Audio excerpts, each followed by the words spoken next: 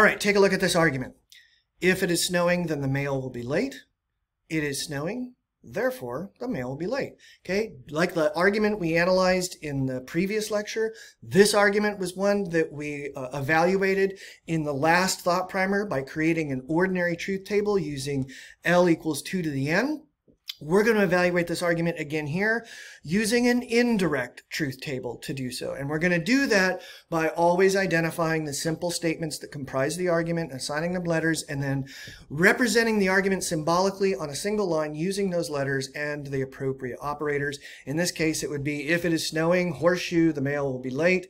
Second premise says it is snowing, and the conclusion says the mail will therefore be late. And we've separated our two premise statements with a single slash, and we've separated our conclusion from the final premise with a double slash. Now what we're going to do is we're just going to assume that conclusion statement is false.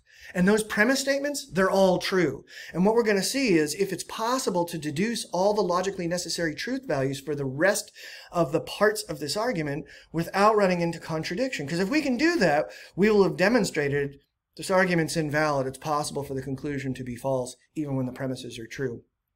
Okay?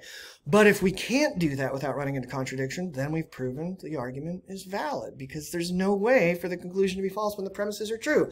All right, so we're going to deduce logically necessary truth values. I know that if S is true here, it's got to also be true here because this is all one moment in time and S can't be both true and false at the same time. So then the same goes for L. If L's false here in the conclusion, it's got to be false there. And look what just happened. We just ran into a contradiction. Because as line two of our conditional truth table, conditional statement truth table says, anytime the left-hand side of a horseshoe is true and the right-hand side is false, the horseshoe is false. But we assumed the horseshoe to be true. So it's not possible to deduce all of the logically necessary truth values of the component parts of this argument without running into a contradiction. And that means the argument is valid. So I said at the end of the last lecture that when we are able to deduce all of the truth values of the component parts of an argument without contradiction, we have this sort of feeling of success, like, yay, look at me, I did it, and I was successful. But counterintuitively, being able to successfully do that proves that it's a bad argument. Well, the sort of, the, here we have the flip side of the coin, right? Where we ran into a problem, it's like, oh, I broke a rule. But really, we should be like, oh, I broke a rule.